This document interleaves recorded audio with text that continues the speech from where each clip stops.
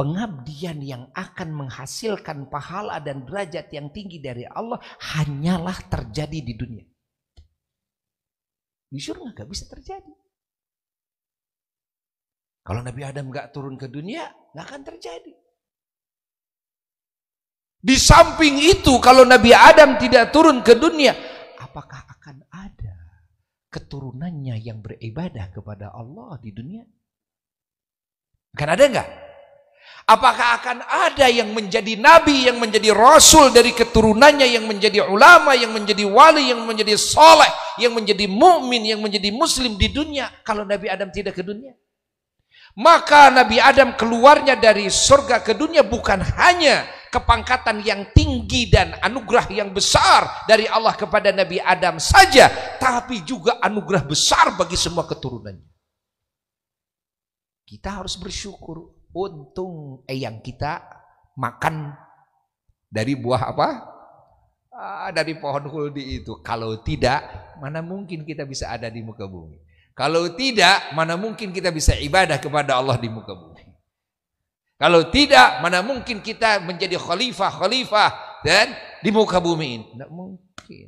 Itu lahirnya para nabi, para rasul, lahirnya para ulama, para wali, para syuhada, para solihin, mukminin, mukminat.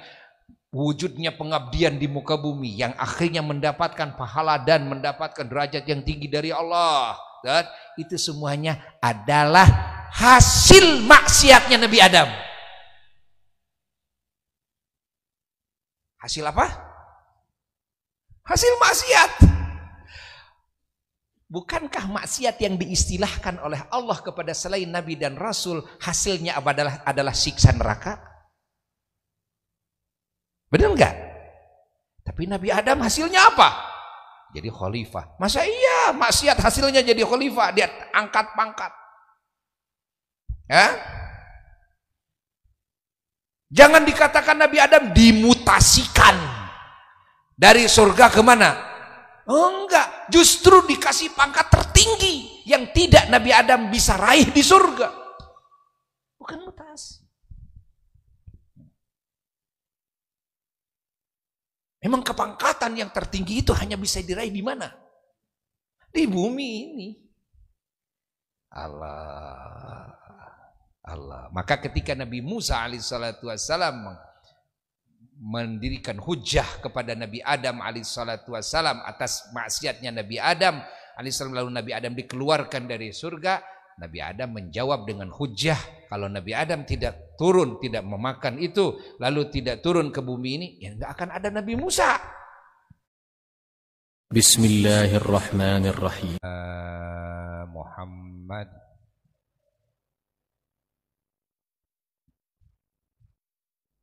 وعلى آله وصحبه ومواله أما بعد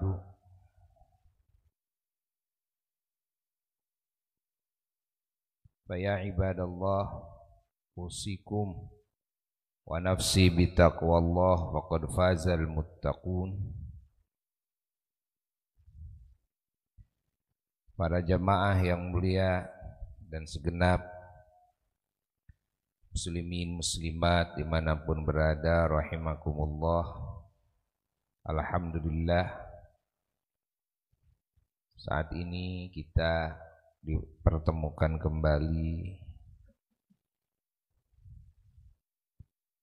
dalam majelis yang Allah cintai, yang Allah muliakan, yang Allah hujani dengan kasih sayangnya dan barokahnya dan ampunannya dan juga Allah angkat derajat ahli majlis seperti ini ke derajat yang lebih tinggi. Dan Allah kabulkan doa-doanya. Tentunya kita wajib bersyukur kepadanya karena hal seperti ini adalah karunia yang sangat mahal dari Allah melebihi pemberian dunia. Yakni tatkala Allah memberikan kenikmatan dunia kepada kita kalau dibandingkan dengan tatkala Allah memberikan petunjuk kepada hati kita kepada amalan seperti ini dan Allah memberikan kemampuan untuk mengamalkan amalan seperti ini maka hidayah dan taufiknya sungguh sangatlah agung. Tidak bisa dibandingi dengan kenikmatan dunia. Karena apa yang kita amalkan akan melahirkan kenikmatan-kenikmatan yang tiada ujungnya. Akan melahirkan anugerah-anugerah yang tiada akhirnya akan melahirkan ketinggian martabat melahirkan keselamatan kebahagiaan keberuntungan, kemuliaan yang hakiki dan abadi. Kita mengkhususkan juga majelis kita ini untuk istighosah dan tawassul kepada Allah dengan keagungan Nabi kita Sayyiduna wa Maulana Muhammad sallallahu alaihi wasallam membaca salawat masyhur berjamaah dan juga membaca maulid bersama-sama. Kita mendengar dari lisan para aulia, lisan para ulama bahwasanya bertawasul dengan kebesaran junjungan alam Rasulullah sallallahu alaihi wasallam adalah salah satu faktor penyebab cepatnya dikabulkan doa. Salah satu faktor penyebab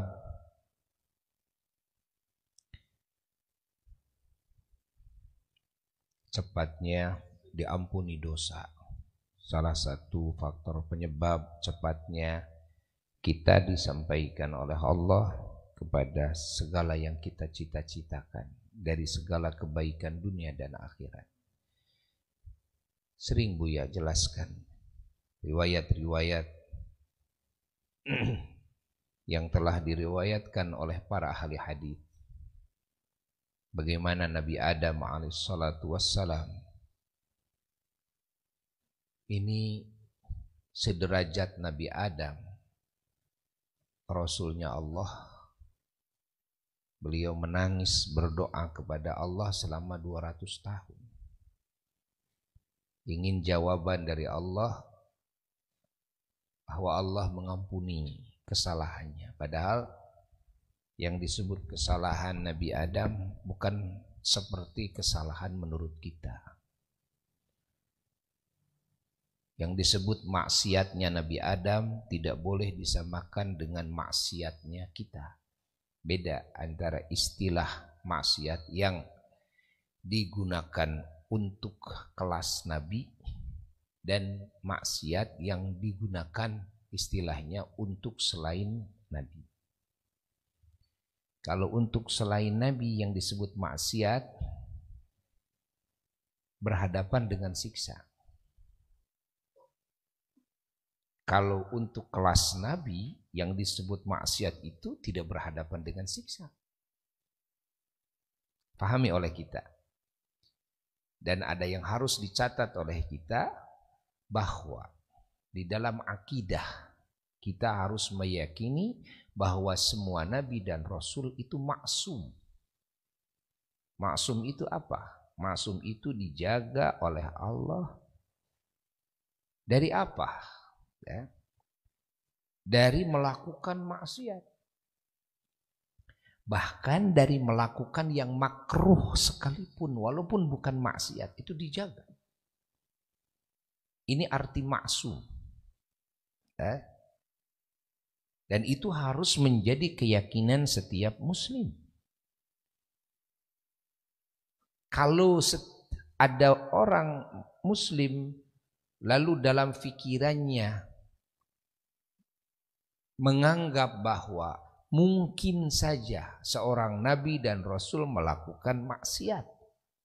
melakukan dosa, maka akidahnya hancur. Pahami, ini akidahnya hancur. Dia tidak punya akidah. Keimanannya hancur.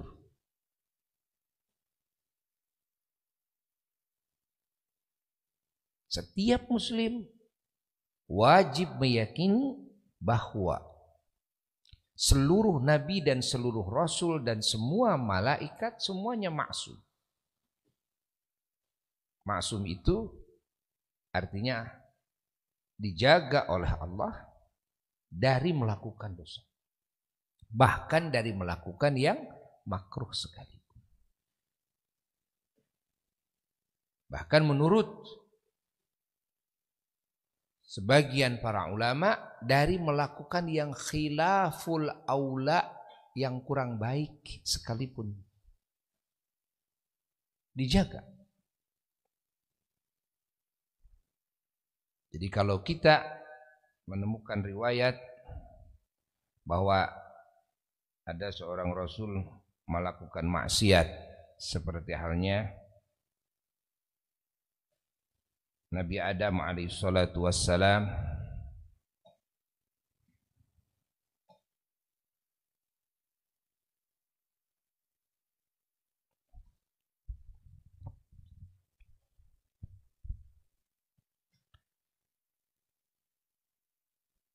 Yang mana Allah menyatakan dalam wahyunya. Wa asa adam rabbahu faghawa Nabi Adam alaihissalatu wassalam dikatakan oleh Allah wa Adam. Telah maksiat Adam. Rabbahu kepada Rabbnya. Ya.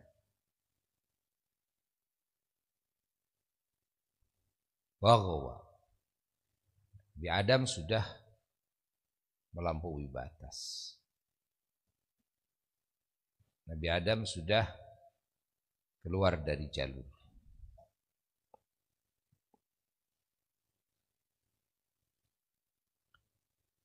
Ini pernyataan Allah maksiat ada sebagian di antara kita yang berani menuduh kepada Nabi Adam maksiat seperti maksiatnya selain daripada para nabi, para rasul.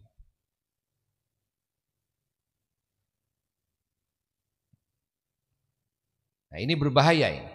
Ini berbahaya. Karena ini akan menghancurkan akidah.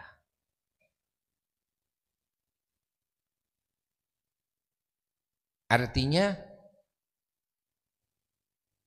kemaksuman Rasul itu tidak ada. Kemaksuman pangkat Nabi itu tidak ada. Artinya Nabi dan Rasul sama saja dengan selainnya mungkin melakukan dosa. Nabi Adam saja bisa melakukan dosa. Dan Allah mengatakan wa'aso. Wa'aso itu maksiat.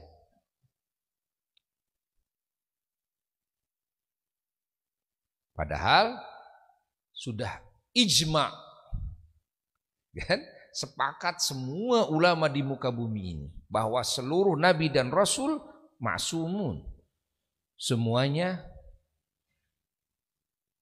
punya pangkat maksum, yakni dijaga oleh Allah dari melakukan maksiat. Sekecil apa pun, bahkan bukan cuma maksiat yang makruh pun tidak dilakukan. Yakni Allah menjaga para nabi dan para rasul dari melakukan hal yang makruh. Nah, ini harus menjadi keyakinan maka sidiknya kejujuran para nabi, para rasul semuanya maksum terjaga. Makna amanah. Apa itu amanah itu? Ya. Terpercaya. Maknanya terpercaya apa? Maknanya terpercaya adalah seluruh nabi dan rasul memiliki sifat terpercaya di dalam menjaga dirinya, dohirnya, batinya dari melakukan maksiat, dari melakukan hal yang makruh sekalipun, dari menyalahi aturan Allah.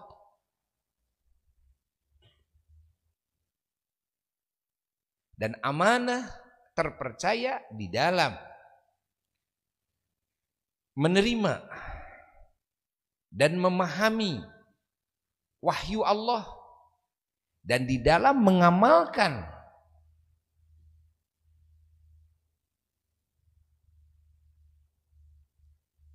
Apa-apa yang diamanahkan oleh Allah. Di dalam mengamalkan apa-apa yang diperintahkan oleh Allah. Dalam menjauhi apa-apa yang dilarang oleh Allah. Ini arti amanahnya para ambia dan para mursalin. Hatta dari hal yang makruh sekalipun Beda dengan amanah yang disebut oleh umum. Ini orang amanah, gitu kan? Amanah itu dalam hal ketika dia dititipi, gitu kan? Titipan-titipan duniawiyah, titipan uang kayak atau apa saja. Nah, ini orang amanah. Kalau hal itu kafir kafir juga bisa disebut amanah. Ya, tapi amanah yang dimaksud di sini ya sifat para nabi dan para rasul alaihi wassalatu wassalam amanahnya bukan itu. Ya ini apa yang diamanahkan oleh Allah, bukan sekedar apa yang diamanahkan oleh manusia. Apa yang diamanahkan oleh Allah. Ya ini wahyu Allah yang di dalamnya ada aturan-aturan Allah. Ya. Mana yang harus dirahasiakan pasti dirahasiakan oleh para nabi. Mana yang harus disampaikan pasti disampaikan oleh para nabi, oleh para rasul. Ini arti amanah.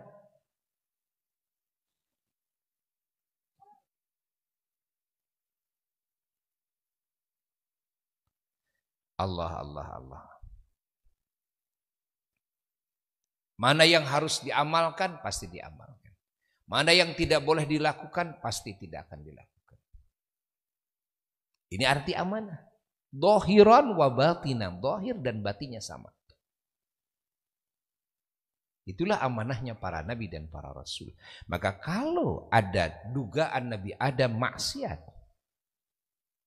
dianggap maksiat ini sama dengan istilah maksiat yang Allah terapkan kepada selain para nabi dan para rasul.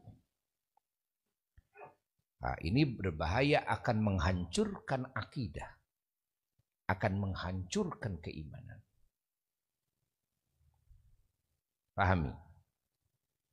Ya, jadi maksiat yang Allah sebut dalam Quran wa asa adamu rabbahu fagawa dalam surat Toha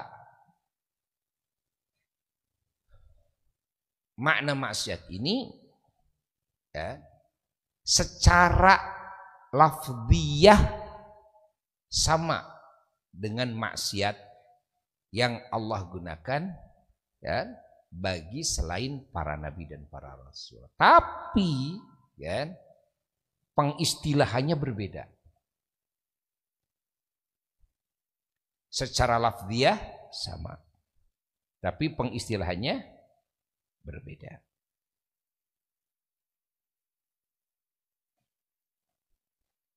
Makanya kita tidak menemukan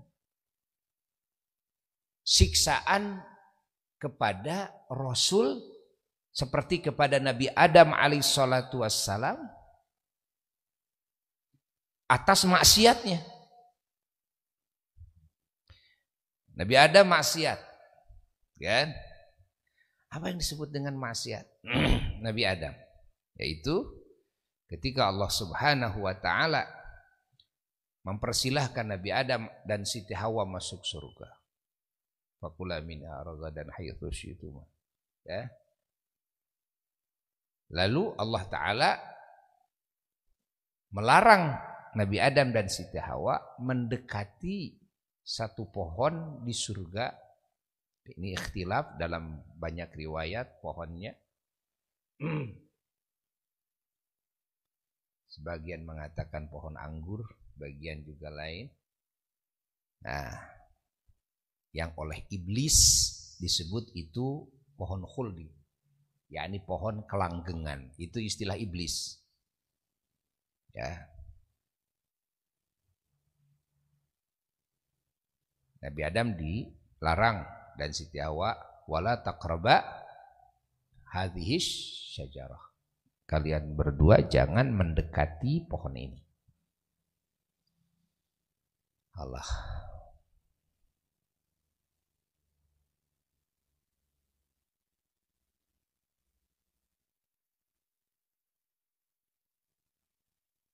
Setan iblis mengatakan kepada Nabi Adam dan Siti Hawa ini pohon-pohon kelanggengan.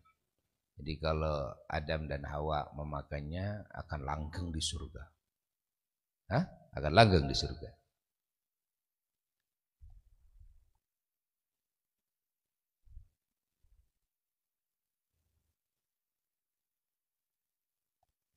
Lalu Nabi Adam alaihissalatu wassalam memakannya dari Siti Hawa.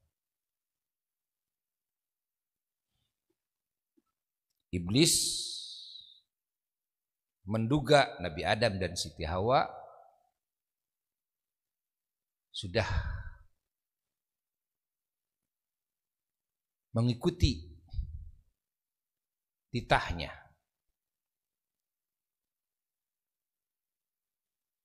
Sudah maksiat kepada Tuhannya.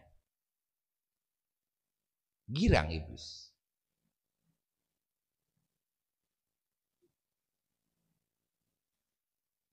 Tapi Nabi Adam alaihissalatu wassalam melakukan hal itu tentu dengan hikmah. Dan Nabi Adam tahu kepada karakter iblis itu bagaimana. Kenal iblis itu kan beribu-ribu tahun. Ya. Salah satu karakter iblis itu membalikan fakta. Itu karakter iblis. Kalau iblis mengatakan benar berarti salah. Kalau mengatakan salah berarti benar. Itu. Itu karakter iblis. Makanya kalau iblis mengatakan ini adalah pohon khuldi. Jadi pohon kelanggengan berarti tidak akan langgeng kalau memakannya. Kan? Nabi Adam memakainya. Ya, Nabi Adam memakainya. Nabi Adam tahu kepada karakter iblis.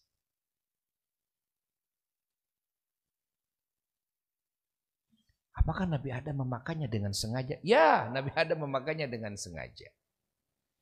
Karena tahu daripada hikmah ya, memakan dari pohon tersebut Nabi Adam tahu.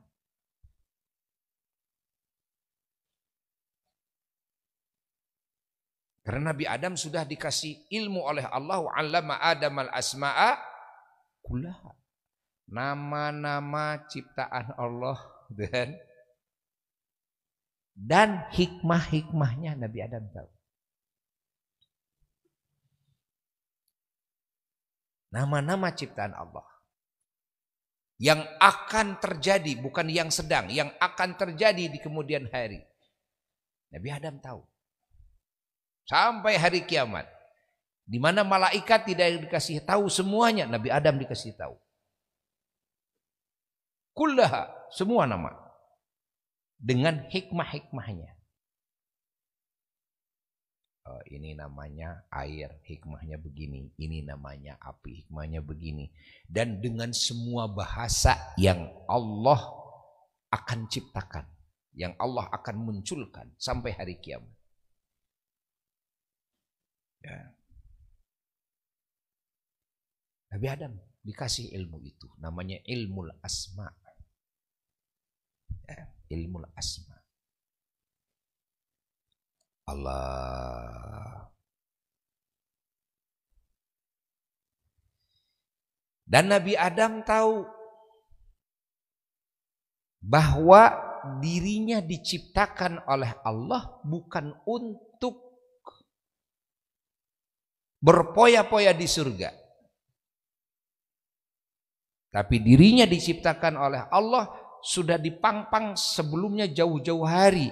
Sebelum Nabi Adam oleh Allah diciptakan jasadnya dari tanah. Sebelum dikasih ruh. Ya, sudah ada pernyataan dari Allah kepada semua malaikat. Apa pernyataan dari Allah? Ini ja'ilun fil ardi. Hei, semua malaikatku. Sesungguhnya aku akan menjadikan khalifah di muka bumi. Begini, begini, begini, begini.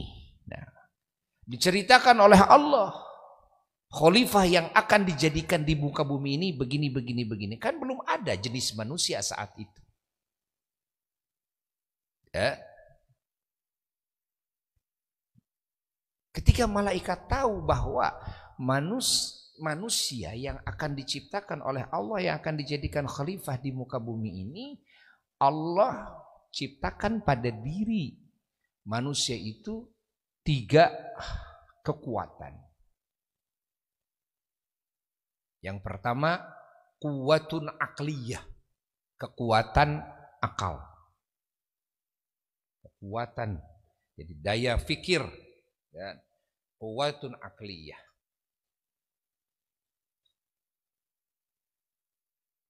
Yang kedua, kuwatun ghadabiyah. Kekuatan amarah, emosional. Yang ketiga, kuatun syahwiyah. Kekuatan keinginan, syahwat. Ya kekuatan. Para malaikat dikasih tahu. Lalu para malaikat menelaah efek dari tiga kekuatan ini. Dan efek dari Tiga kekuatan ini.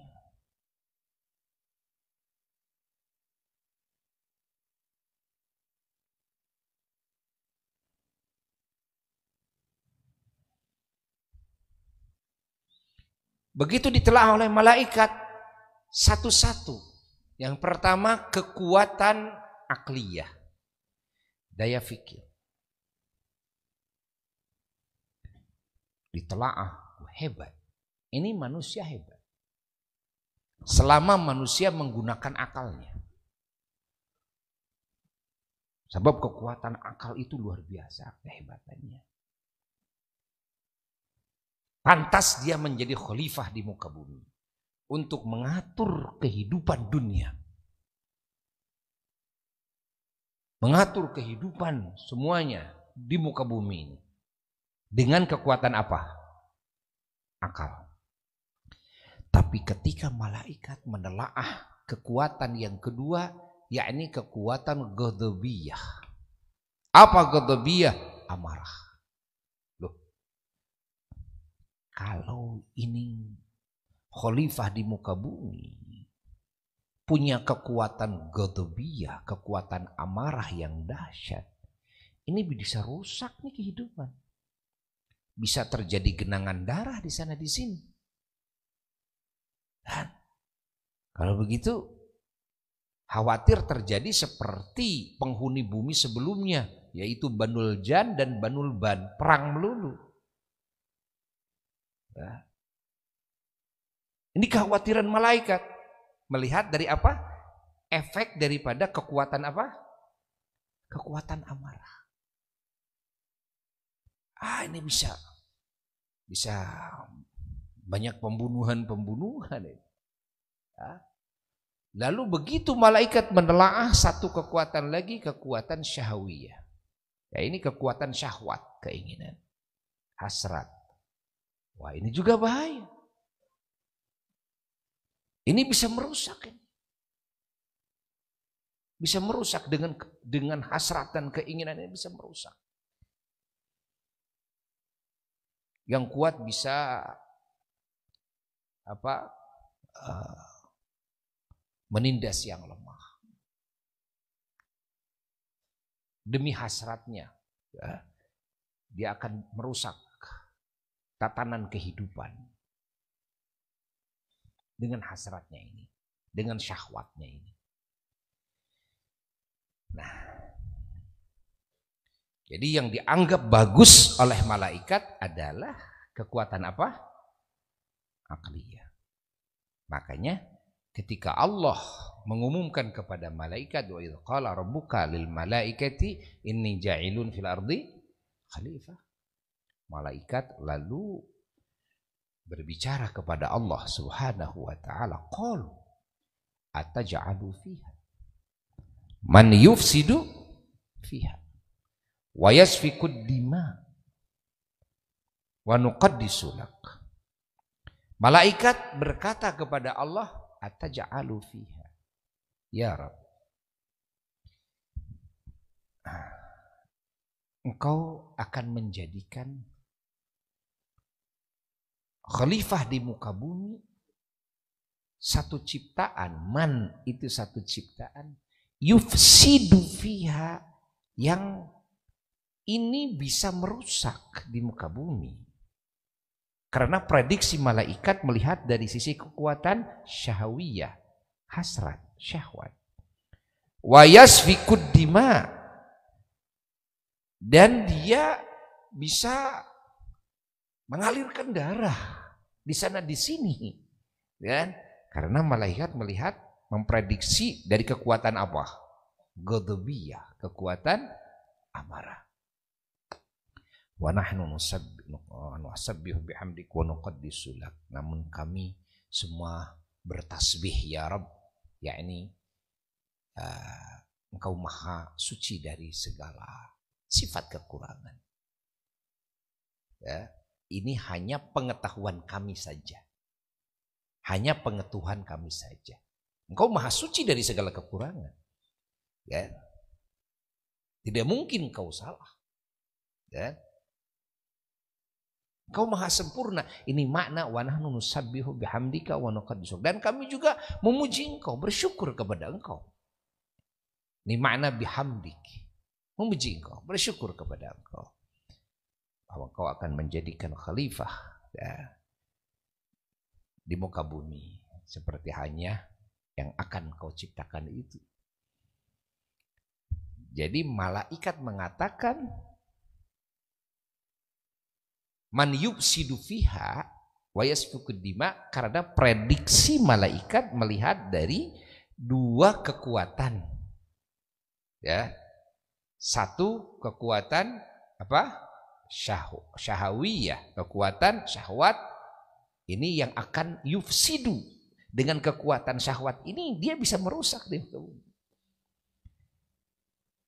Yang kedua kekuatan ghadabiyah, amarah yang dengan kekuatan itu prediksi malaikat ini bisa menggenangkan darah di sana di sini. Ya. Apa jawaban Allah? Qala inni a'lamu ma la ta'lamu. Allah menjawab sesungguhnya aku maha mengetahui kepada apa yang kalian tidak ketahui. Sesungguhnya aku maha mengetahui kepada dan segala perkara yang kau yang kalian tidak tidak ketahui. Dan ini kan hanya menurut prediksi kalian saja. Dan berbeda dengan apa yang kami ketahui. Ya.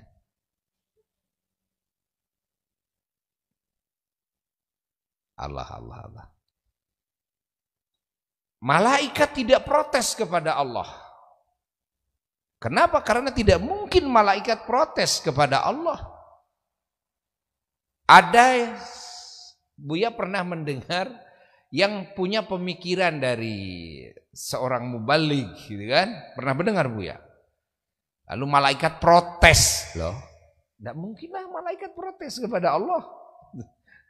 Malaikat yaf'alu ma yu'mar.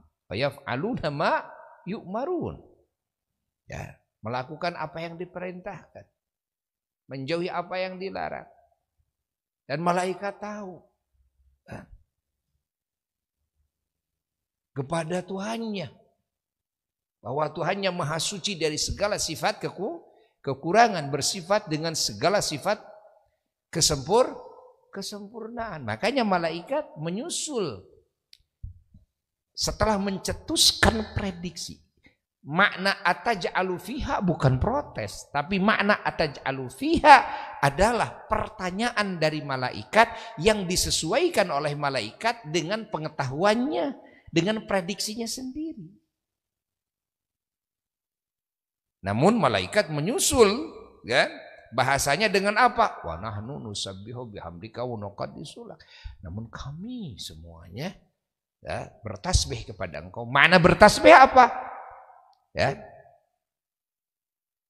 Mana bertasbih apa? Ya ini meyakini bahwa engkau itu maha suci dari segala sifat kekurangan. Dan kami tetap memuji engkau. Ya ini bersyukur kepada engkau atas apa yang kau kehendaki. Apa yang kau takdirkan. Karena yang kau takdirkan adalah semua al-aslah. Yang paling maslahat semuanya. Jadi ataj'alu fiha ma yufsidu fiha hanya prediksi siapa? Hanya prediksi kami. Bukan kami protes, bukan malaikat protes kepada Allah. Jangan dianggap malaikat protes. Mungkinkah dan hamba yang tahu kepada Tuhannya protes kepada Tuhannya? Tidak mungkin. Tidak mungkin. Jangan dikatakan protes. Jadi malaikat adalah bertanya kepada Allah Taala. Ya, tentang apa yang tidak diketahui oleh mereka. Yang mana mereka punya prediksi karena mereka tahu ini yang akan diciptakan oleh Allah disimpanin disimpanin tiga kekuatan. Satu kekuatan akliyah sudah, kalau kekuatan akliyah berarti hebat. Lalu kekuatan syahwah, syahwiyah, kekuatan syahwat. Nah, ini nih, nih prediksi malaikat ini bisa merusak nih.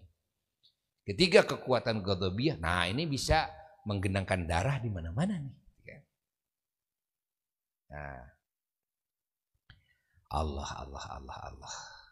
Malaikat tidak mengetahui apa yang ada di balik ya, takdir Allah. Nah, di antaranya adalah ini kan baru kekuatan akal. Ini baru kekuatan syahwat dan godok.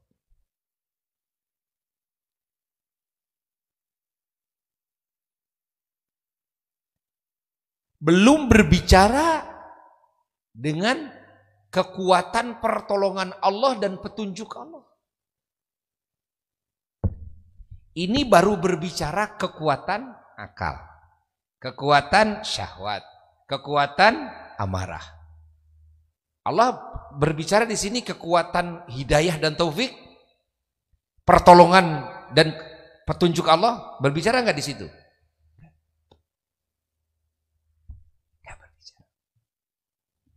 Makanya hanya dengan satu ilmu yang Allah berikan kepada Nabi Adam, malaikat sudah angkat tangan, sudah tercengang semuanya. Apa? Dengan ilmu asma wa allama Adam al asma kullaha. Dan Thumma araduhum 'alal malaikah. Dengan ilmu asma saja, ilmu asma. Ilmu nama. Ilmu nama saja, malaikat sudah angkat tangan. Ternyata, wah. Masya Allah. Akal kan cuma alat. Akal itu cuma alat. Paham? Kekuatan syahwat alat. Kekuatan ghadab alat. Belum berbicara Allah tentang apa yang Allah akan isikan kepada akal tersebut. Belum berbicara tentang itu. Dan Allah belum berbicara tentang pertolongan Allah, taufik Allah. Kenapa? Karena kekuatan makhluk tidak akan ada yang bisa melawan kekuatan Khalik. Kan? Sehebat-hebatnya makhluk. Kekuatan iblis dan bangsa setan yang begitu hebatnya tidak akan bisa menghadapi kekuatan hidayah Allah, menghadapi kekuatan taufik Allah, akan bisa. Jika Allah menghendaki memberikan hidayah, makhluk yang mana yang bisa menyesatkan?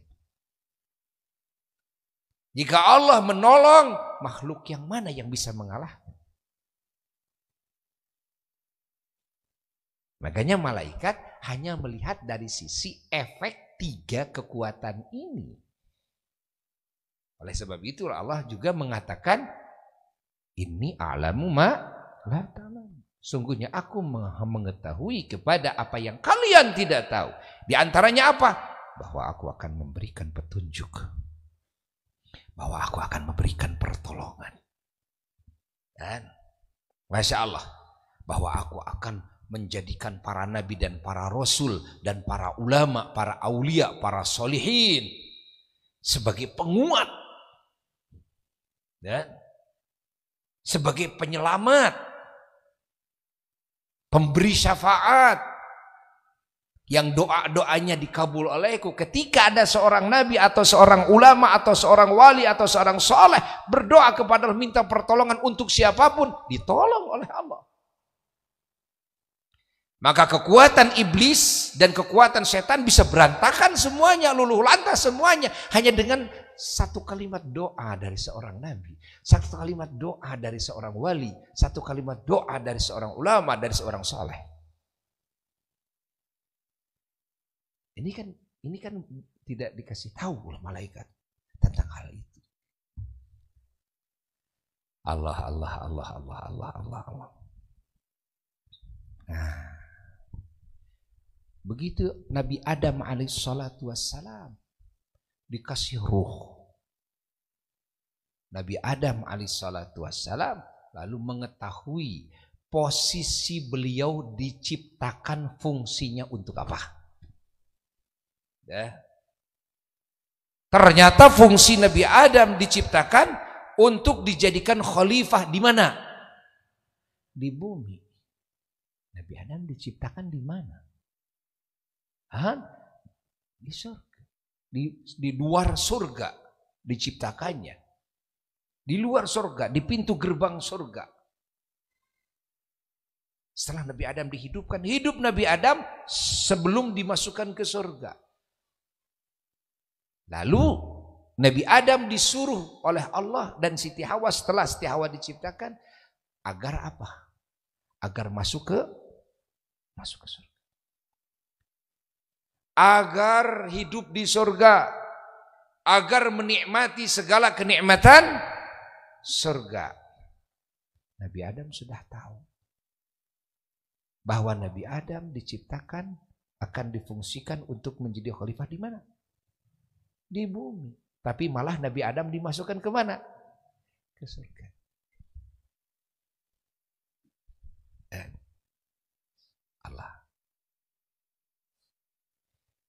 Sesuai enggak dengan fungsi Nabi Adam diciptakan? Nabi Adam diciptakan dari awal-awal Allah sudah mengumumkan ini ja'ilun fil ardi khalifah akan dijadikan khalifah di mana? Di bumi. Tapi malah Allah taala memerintahkan Nabi Adam dan Siti Hawa berpoya-poya di mana? Di surga. Sesuai enggak dengan fungsi diciptakannya Nabi Adam? Tidak.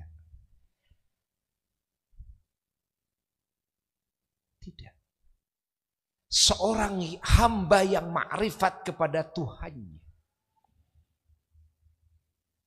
merasa tidak enak diposisikan bukan pada posisi yang dikehendaki oleh Allah atas penciptaan Allah kepada dirinya. Malu oleh Allah. Malu oleh Allah. Kapan saya akan dijadikan khalifah di muka bumi? Kapan, kapan, kapan, kapan? Malu oleh Allah. Karena saya tahu, saya ini dijadikan oleh Allah itu untuk dijadikan apa? Khalifah di mana? Di muka bumi. Tapi malah saya dimasukkan ke mana? Ke sorga. Orang yang ma'rifat kepada Allah. Malu oleh Allah. Malu oleh Allah.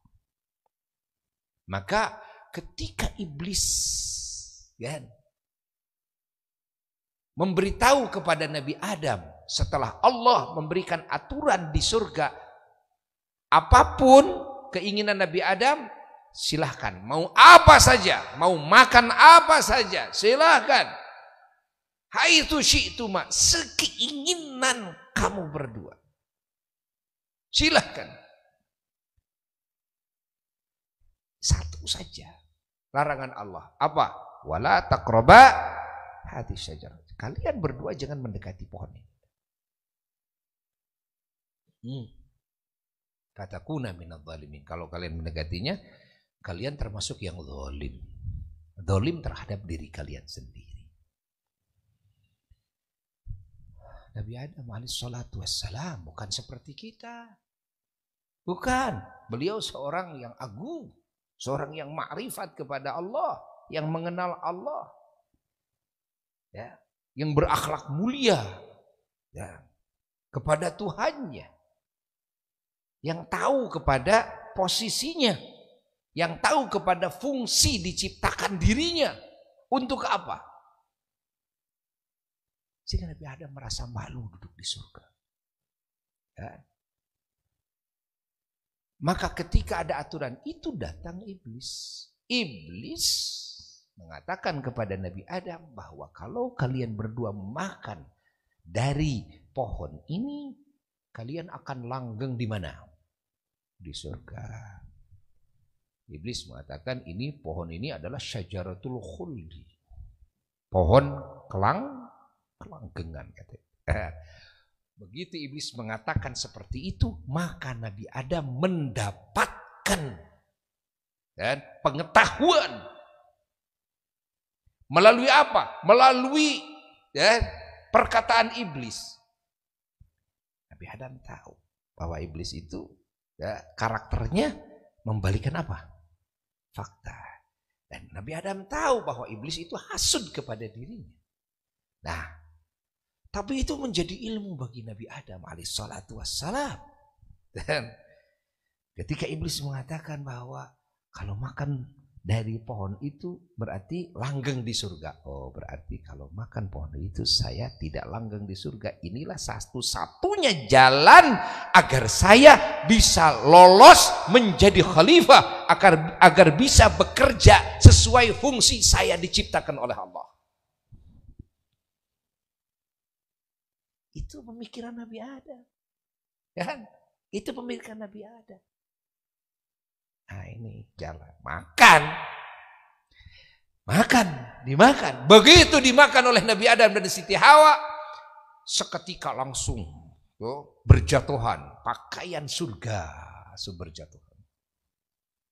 Sehingga terbuka auratnya. Dikasih oleh Allah. Kan? Hanya ya, belembar daun. Untuk menutupi auratnya saja. Allah. Lalu setelah itu apa? Setelah itu diturunkanlah Nabi Adam dari sorga ke mana? Ke bumi. Diturunkan Nabi Adam ke surga.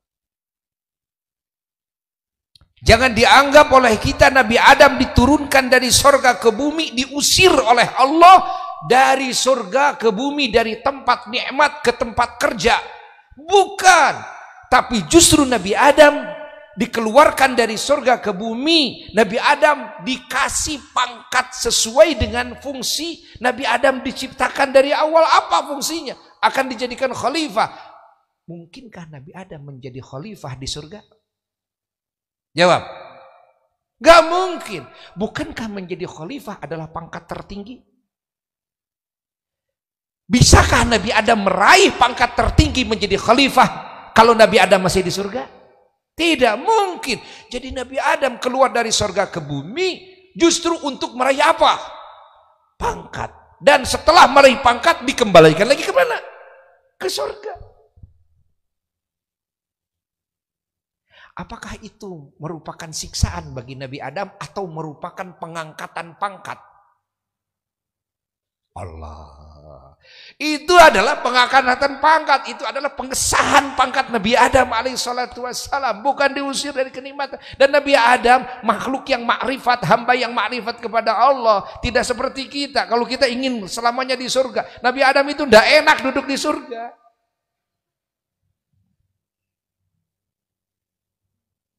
Nabi Adam duduk di surga.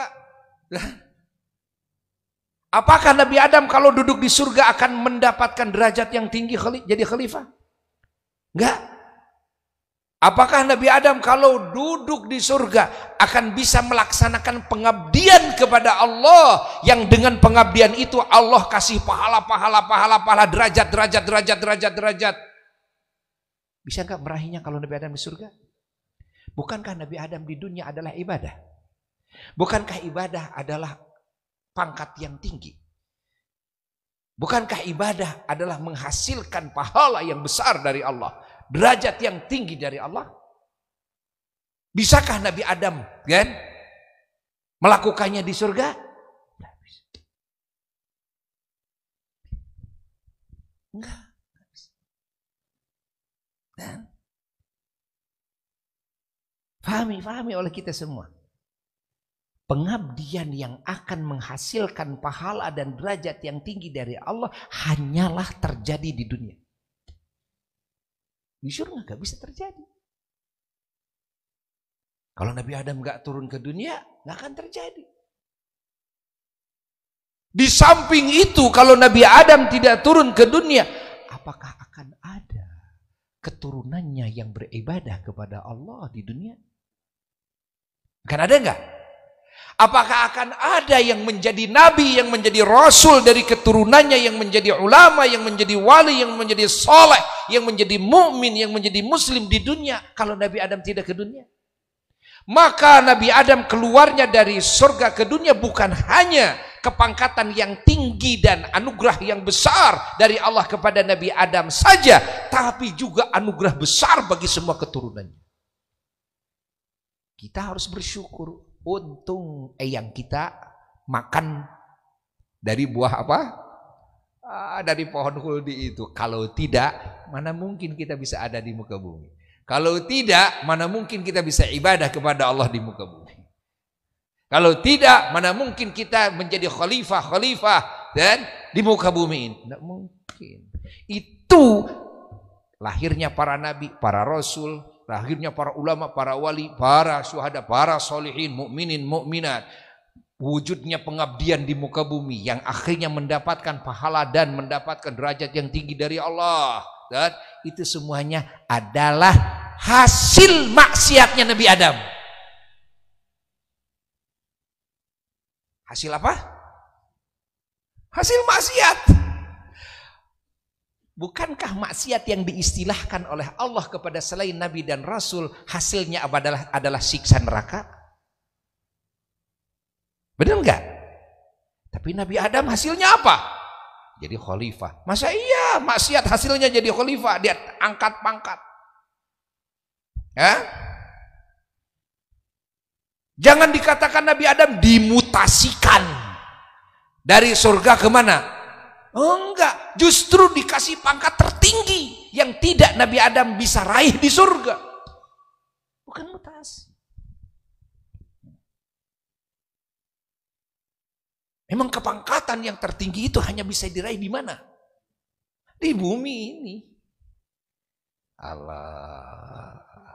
Allah. Maka ketika Nabi Musa alaihissalatu wassalam mendirikan hujah kepada Nabi Adam alaihissalatu wassalam atas maksiatnya Nabi Adam. Alaihissalam lalu Nabi Adam dikeluarkan dari surga. Nabi Adam menjawab dengan hujah kalau Nabi Adam tidak turun tidak memakan itu lalu tidak turun ke bumi ini ya nggak akan ada Nabi Musa. Nabi Musa nggak akan punya pangkat nggak akan ada loh. Akhirnya apa? Nabi Adam kan mengalahkan hujah Nabi Musa. Nabi Musa tidak bisa berpetik lagi Masya Allah. Masya Allah. Oleh sebab itulah Imam Abu Yazid Al-Bustami seorang wali kutub, beliau mengatakan, "Lau kuntu makana Adam." Lau kuntu makana Adam. La akal tu syajarata bitamamiha. Kalau aku kedudukanku ada pada posisi kedudukan Nabi Adam saat itu, maka aku mah akan memakan pohon tersebut sampai akar-akarnya akan aku makan semua.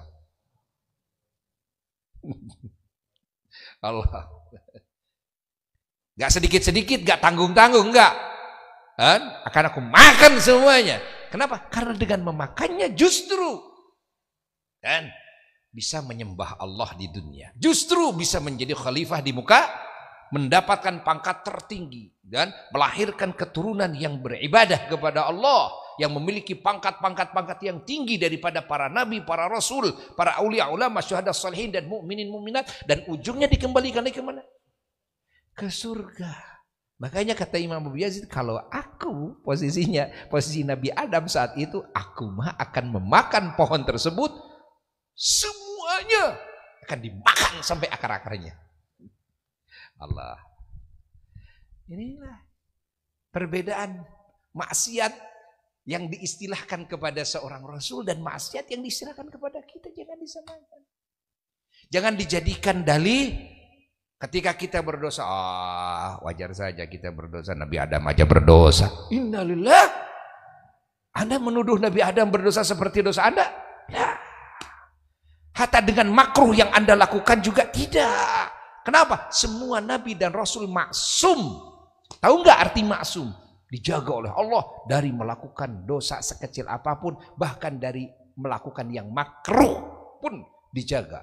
Kalau Anda punya pemikiran seorang rasul mungkin melakukan kesalahan, melakukan dosa, kan?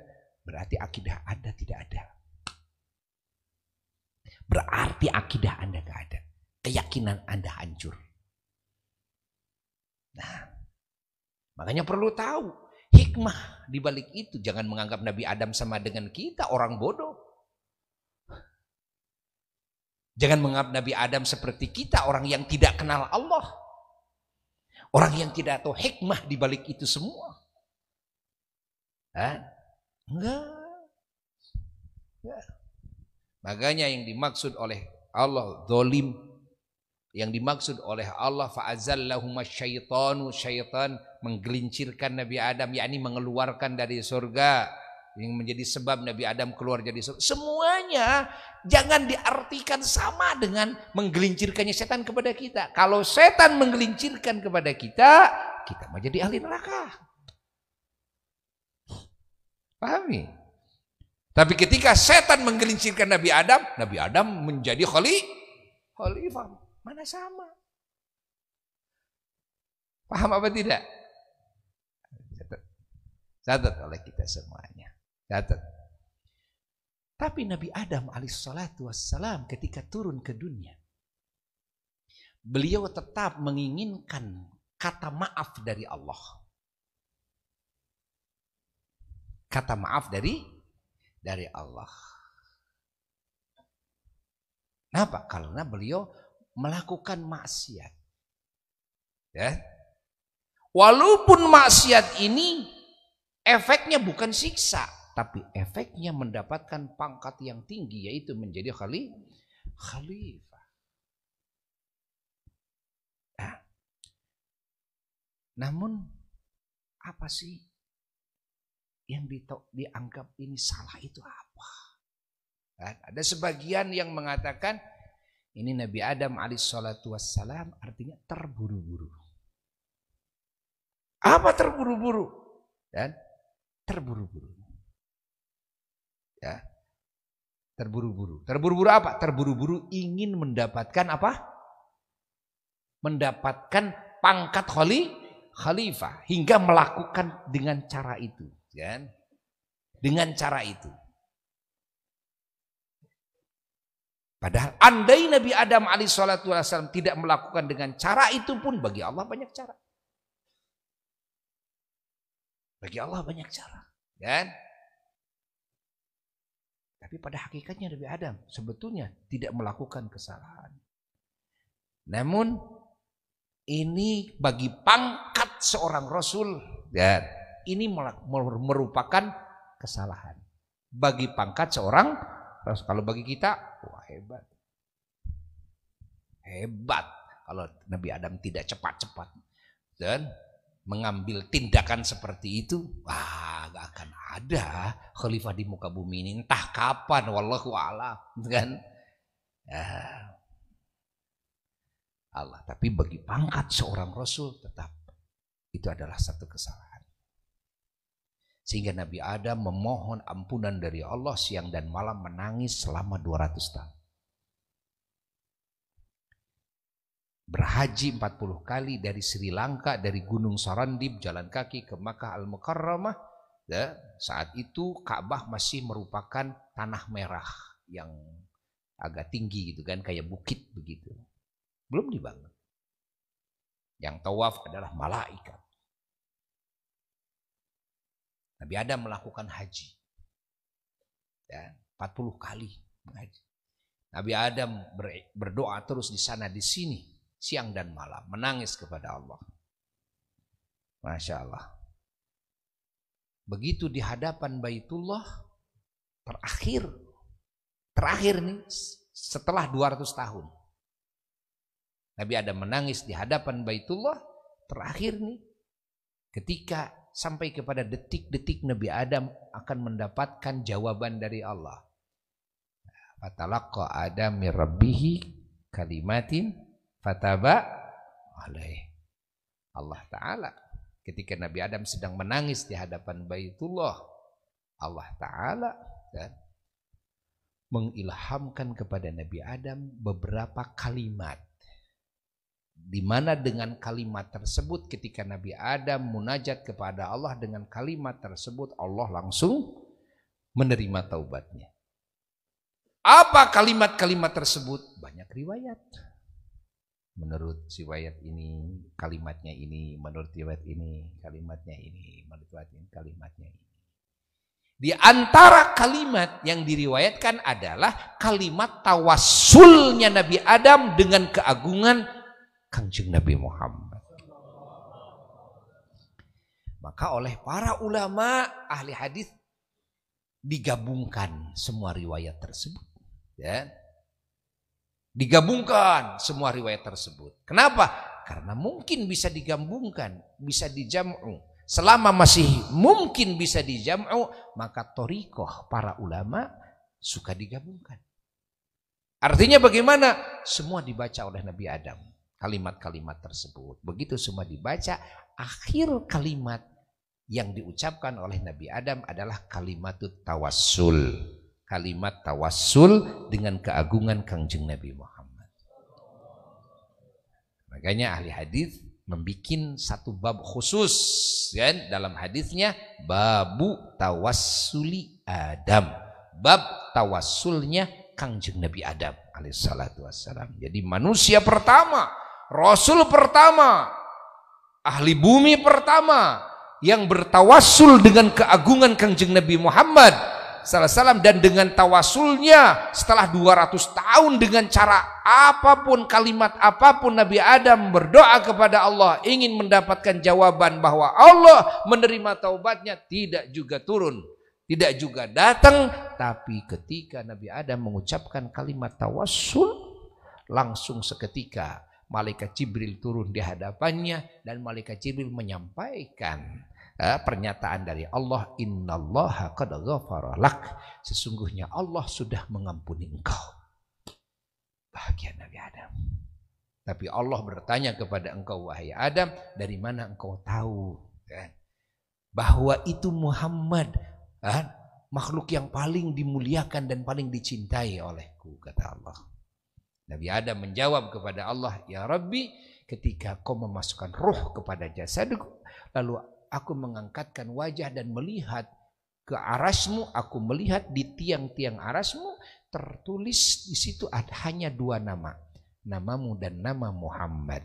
La ilaha illallah Muhammadun Rasulullah dan aku yakin bahwa tidak mungkin Ini hanya satu-satunya nama makhluk yang digandengkan dengan namamu. Kalau bukan makhluk yang paling mulia di sisimu, yang paling dicinta di sisimu. Apa jawaban Allah? Dan sodakta. Ya Adam, benar kamu wahai Adam. Dan laulahu kalau tidak ada beliau, yakni tidak ada Muhammad sallallahu alaihi wasallam, aku tidak akan menciptakanmu Aku tidak akan menciptakan malaikat. Aku tidak akan menciptakan surga dan neraka. Aku tidak akan menciptakan aras dan aku tidak akan menciptakan bumi dan langit. Terus diceritakan, diceritakan oleh Allah kepada Nabi Adam dalam banyak riwayat ini. Amin. Allah tawassul. Maka kita harus mengkhususkan majelis tawassul kalau kita ingin dikabul doa. Ya, makanya malam Kamis usahakan hadir agar dikabulkan doa kita. Hadir. Kenapa? Karena Buya meng mengkhususkan malam Kamis ini untuk majelis tawasul. Untuk majelis tawasul. Karena banyaknya jamaah yang ingin dikabulkan doanya. Sudah, kumpul setiap malam Kamis. Khususkan ini malam Kamis. Adakan waktu. Kan? Ada untuk mencari ilmu, ada untuk diijabah doa kan lain. Tapi malam Kamis cari ilmu dapat ilmu. Dan cari ijabah dapat ija ijabah. Dan alham alhamdulillah kalau khusus saja kita langsung wirid, langsung tawasul dengan kebesaran Nabi, baca salawat masyhur, baca salawat mudhariyah, baca maulid itu sudah dapat diijabah doa kita. Tambah lagi dengan ilmu. Ilmu ini kan mahal. Kan? Ilmu ini mahal, jadi bukan sekedar majelis tawasul, majelis istighosah, majelis doa saja, tapi juga majelis Subhanallah. Sehingga kita bisa meraih segalanya. Allahumma salli wa sallim wa barik wa ala alihi wa sahbihi